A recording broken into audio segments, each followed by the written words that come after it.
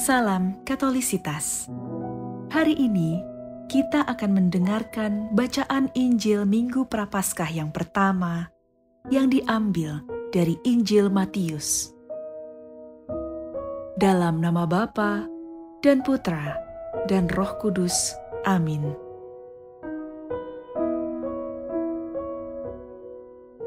Inilah Injil suci menurut Matius.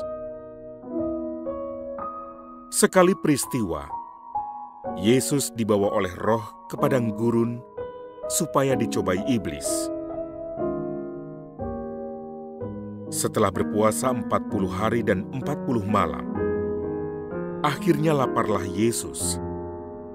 Lalu datanglah si pencoba itu dan berkata kepadanya, "Jika engkau anak Allah, perintahkanlah supaya batu-batu ini menjadi roti. Tetapi Yesus menjawab, Ada tertulis, manusia hidup bukan dari roti saja, tetapi dari setiap firman yang keluar dari mulut Allah. Kemudian iblis membawa Yesus ke kota suci dan menempatkan dia di bubungan bait Allah. Lalu iblis berkata kepadanya,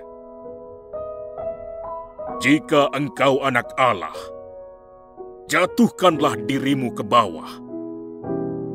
Sebab ada tertulis mengenai engkau, ia akan memerintahkan malaikat-malaikatnya dan mereka akan menatang engkau di atas tangannya, supaya kakimu jangan terantuk kepada batu." Yesus berkata kepadanya, "Ada pula tertulis, janganlah engkau mencobai Tuhan Allahmu." Lalu iblis membawa Yesus ke atas gunung yang sangat tinggi dan memperlihatkan kepadanya semua kerajaan dunia dengan kemegahannya. Iblis berkata kepadanya, "Semua itu akan kuberikan kepadamu jika engkau sujud menyembah aku. Maka berkatalah Yesus kepadanya, Enyahlah iblis, sebab ada tertulis, engkau harus menyembah Tuhan Allahmu, dan hanya kepada dia sajalah engkau berbakti. Lalu iblis meninggalkan Yesus. Dan lihatlah, malaikat-malaikat datang melayani dia. Demikianlah sabda Tuhan.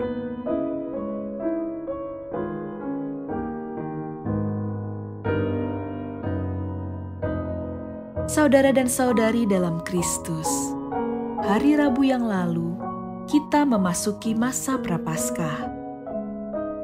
Dalam bacaan Injil hari ini, Yesus mengajak kita untuk merenungkan saat ia dicobai di padang gurun. Maksudnya adalah agar kita merenungkan arti padang gurun dan makna cobaan dan godaan yang kita alami di dalam hidup ini. Kitab suci menggambarkan padang gurun sebagai tempat pencobaan dan ujian. Di padang gurun, orang mengalami kesepian dan keterasingan. Hal ini dialami oleh bangsa Israel. Setelah dibebaskan Allah dari perbudakan di Mesir, mereka tidak langsung sampai ke tanah perjanjian, melainkan harus mengembara di padang gurun selama 40 tahun.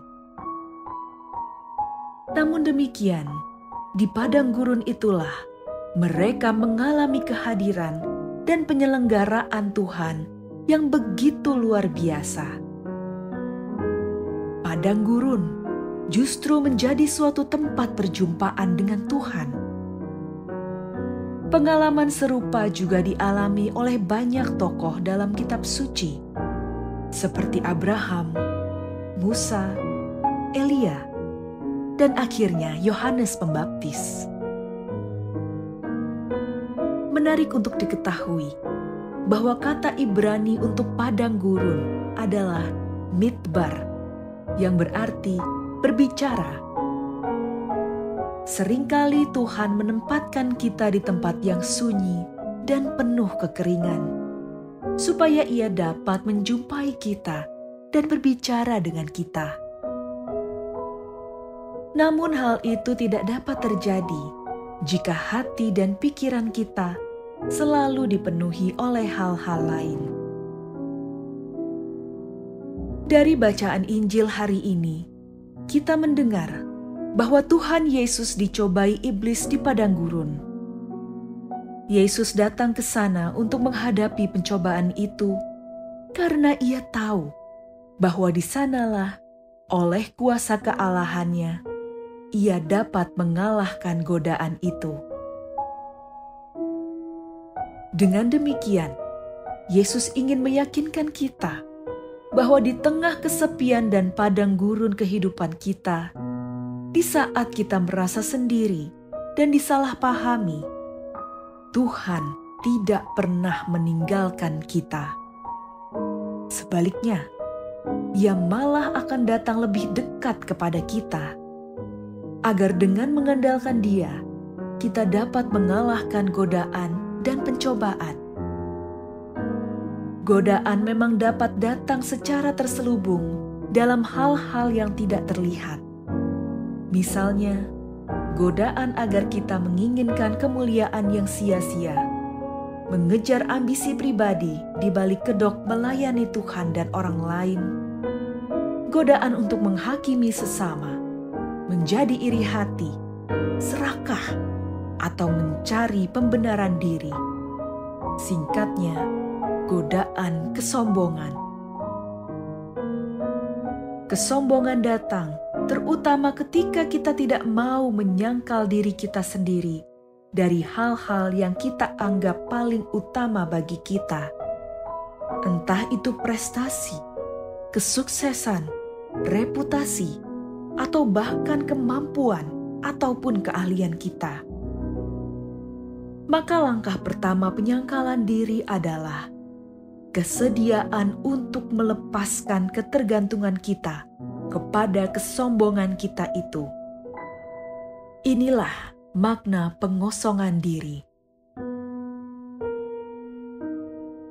Kita mengosongkan diri dari kesombongan dan cinta diri, dan mengisinya dengan cinta kita kepada Tuhan.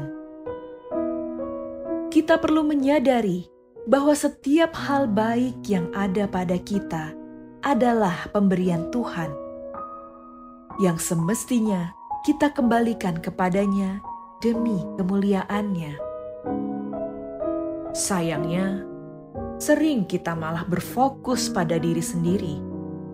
Kita tidak mau membiarkan Tuhan mengarahkan jalan dan masa depan kita. Kita tidak mencari kemuliaan Tuhan, melainkan kemuliaan diri sendiri. Kita sering disibukkan dengan harapan dan impian kita sendiri Akibatnya kita merasa sedih, marah, atau sakit hati ketika rencana kita tidak berhasil atau jika kita dikecewakan oleh orang lain. Kita tidak siap menghadapi perbedaan dan kritik. Kita merasa putus asa jika ditolak. Inilah buah dari memusatkan hati pada diri sendiri daripada mengarahkan hati kita kepada Tuhan. Oleh karena itu, Yesus mengajak kita untuk merenungkan kesendirian dan masa padang gurun selama masa prapaskah ini sebagai kesempatan perjumpaan kita dengan Dia.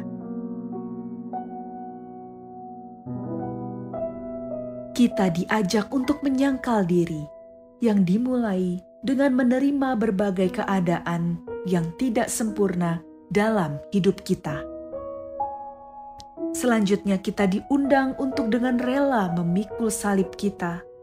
Pertama-tama, dengan melakukan tugas kewajiban seturut panggilan hidup kita tanpa mengeluh. Dengan demikian, kita belajar mengikuti Kristus dengan sepenuh hati meski kita belum sepenuhnya memahami rencananya. Akan tetapi, kita tidak perlu tawar hati jika kita masih jatuh bangun dalam mengikuti jejak Yesus.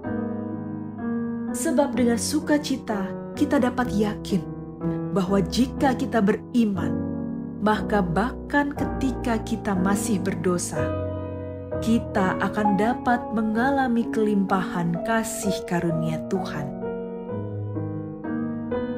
Ini tidak berarti bahwa kita bebas berbuat dosa, tetapi sebaliknya, kita diundang untuk datang kepadanya untuk bertobat, bangkit kembali dari kejatuhan kita, memulai lagi perjalanan hidup bersama Tuhan seperti Yesus yang taat kepada Bapaknya, kita pun harus taat kepadanya.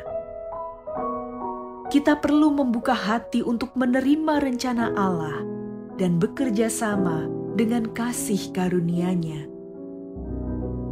Karena Yesus telah mengalahkan kuasa kejahatan, kita percaya bahwa saat kita mengalami pencobaan atau tantangan apa pun, Tuhan takkan pernah meninggalkan kita sendirian. Ia akan menolong kita untuk menghadapi dan mengatasi berbagai tantangan hidup ini, sebab tak ada kemenangan tanpa perjuangan, tak ada kemuliaan tanpa penderitaan, tak ada kebangkitan tanpa salib. Maka marilah kita memasuki masa tobat ini dengan menyangkal diri dan memikul salib kita. Tuhan Yesus tidak akan memberi kita pencobaan melebihi apa yang dapat kita tanggung.